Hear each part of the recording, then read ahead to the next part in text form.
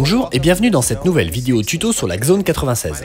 Je suis Spinzin, spécialiste DJ d'Allen Ennis. Dans cette vidéo, nous allons vous montrer à quel point il est simple d'utiliser l'interface audio de votre Xone 96 avec votre session DVS Tractor.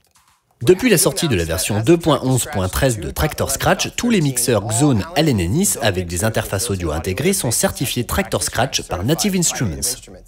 Cela signifie que vous n'avez plus besoin d'une interface audio externe et de gérer le bazar des branchements de câbles si vous voulez utiliser des vinyles timecodés ou toute autre source pour contrôler Tractor.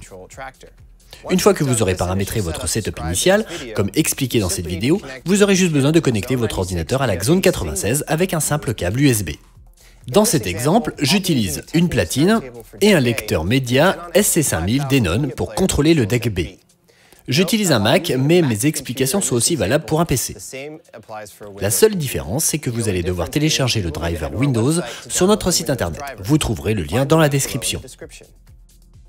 La première étape consiste à vous assurer que votre platine est correctement branchée sur l'entrée phono de la Xone 96. Sous chaque canal, vous trouverez un bouton, c'est le sélecteur ligne phono de l'USB, qui vous permet de décider si c'est l'entrée phono ou l'entrée ligne qui est connectée sur l'entrée de l'interface audio. Pour cet exemple, nous allons nous assurer qu'il est réglé sur phono sur le canal 1. Ensuite, connectez votre lecteur média, comme ce SS5000 Denon, à votre source de niveau ligne sur l'entrée de votre canal 2. Comme c'est une source de niveau ligne, nous devrons être certains que le sélecteur ligne phono de l'USB est réglé sur ligne sur le canal 2. Connectez maintenant votre ordinateur à la Xone 96 en utilisant un câble USB. Dans cet exemple, j'utiliserai l'entrée USB 1. Ouvrez Tractor 2 et rendez-vous dans les paramètres dans la fenêtre des réglages audio. Assurez-vous que l'USB 1 de la Xone 96 est sélectionné en tant que périphérique audio.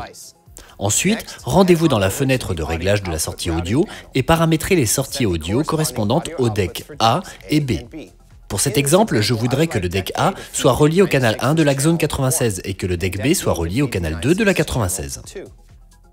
Dans les réglages des entrées audio, je choisis quels canaux des entrées de la 96 contrôlent les decks A et B.